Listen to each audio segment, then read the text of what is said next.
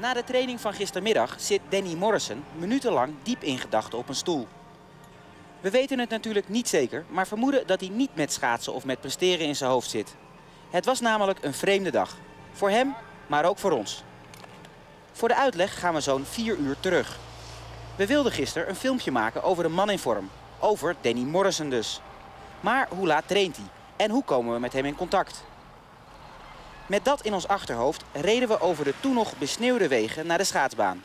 En op nog geen 100 meter van de Olympic Oval vonden we op dit kruispunt een antwoord.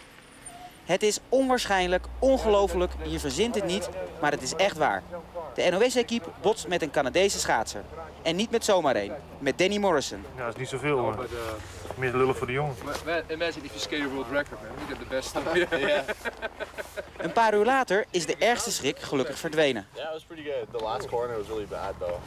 Uh, I just want to get the uh, paperwork done and uh, take care of that, and then concentrate on my racing tomorrow. But you're physically fine. Oh, totally fine. Yeah, a little bit of glass, but no, no big deal.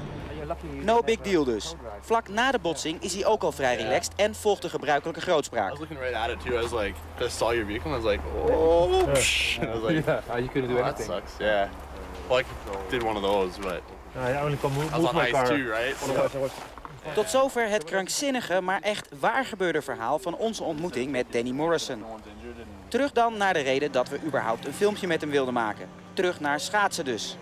Afgelopen weekeinde verbaasde Morrison de fanatieke schaatsvolgers door in een onbeduidende trainingswedstrijd de vijfde tijd ooit op de 1000 meter te rijden. 1.07.35. That race went really well. Uh, I think that what did it for me was the opener. I got my opener down four tenths faster than I've ever done before, and so uh, that's what I need to concentrate on tomorrow in the thousand. If you hit a time, um, it sounds like almost a perfect race, but it wasn't, huh?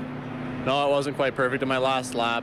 Uh, in the corner over here, in the last corner of the race, I had some slips and had my hand down for about 75 meters of, the, of that corner.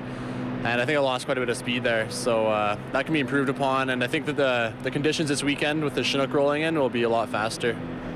Morrison bleef met die verre van perfecte race maar drie tienden verwijderd van het wereldrecord van Shawnee Davis. Een fitte, ontspannen Morrison moet dus in staat zijn dat record te breken. If you miss the world record tomorrow, one tenth of a second, are we to blame then because of this morning? Because of the accident, uh, I think I'll be okay. Um, who knows? I mean, I still have to put the race together, accident or no accident. I have to have to just put a good race on the ice tomorrow. Doesn't really matter what happened before. It's all the training I've done all season that really counts. De dag eindigde, u kent de procedure vast wel, met schadeformulieren. Morgen hebben we een verhaal met Enrico Fabrice gepland. Het is niet te hopen dat hij op de fiets komt.